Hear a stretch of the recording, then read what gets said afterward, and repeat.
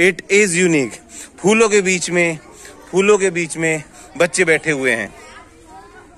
ये देखिए, ये फूल है, ये फूल है। अब इनमें से किसी भी बच्चे को उठा के हम पूछ सकते हैं। अच्छा बच्चों, सुनो। ये ये कितने अच्छे फूल। बच्चों, अगर ये सारे फूल बीच में से उखाड़ के फेंक दें तो कैसा लगेगा? बहुत बुरा। अरे वाह, भाई वाह। मनोज जी, सर, एक मिनट। ये आज सबने बाहर रख रखी हैं बुक्स अपनी। आज कुछ दिखाने के लिए रख रखी हैं। दो तरह की बुक्स होंगी एक ऐसी होंगी एक तो ऐसी होंगी और एक ऐसी होंगी। दो तरह की बुक्स होंगी। सर अब आप कैमरा ले लो जरा। मेरा चेहरा स्कूल का नाम क्योंकि आज क्या है?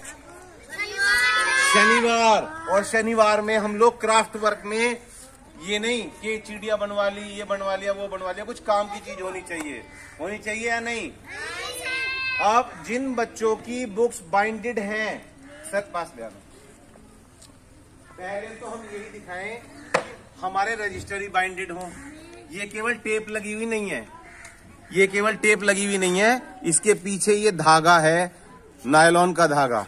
और ये पूरा सिला गया है। और जैसे रजिस्टर खोलते हैं ये निपुण भारत का लोगो हर रजिस्टर में मिलेगा। हर रजिस्टर अपने आप में कुछ कहता हुआ सीधा वही पेज खुलेगा जहाँ पे हाजिरी ली जाएगी। कोई सा भी हम रजिस्टर देखें, सुंदर रजिस्टर, अच्छे रजिस्टर, मिड डे मील भी खोलें, सीधा हम ये वही पेज खुलेगा जहाँ पे हमें एंट्री करनी है next page is free so ये बहुत अच्छा है, देखने में अच्छा है। यही चीज़ हमने बच्चों को सिखाने की कोशिश की है। कि सुंदर सुंदर रजिस्टर कैसे बनाए। अब बच्चे, जरा खड़े हो जाओ। एक हाथ में वो ले लो, जो आपकी बाइंडेड किताबें सर, नज़दीक से। ये देखिए, ये बाइंडेड किताबें हैं। ये कहीं नहीं जाएँगी। अब ये बच्चा आज शनिवार है, और शनिवार को हम क्या करते हैं, इन बच्चों को, जो भी किताबें इनकी अगर फट गई हैं, क्योंकि हर शनिवार को तो नहीं हो पाता, लेकिन एक बार में सत्रह किताबें हम बाइंड कर देते हैं। सत्रह किताबें विद इन टू मिनट्स। दो ही मिनट लगते होंगे? इन पे टेप लगाने में कितना टाइम लगता होगा?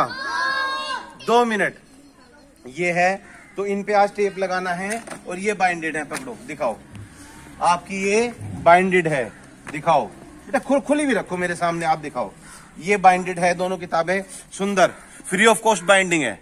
Free of cost binding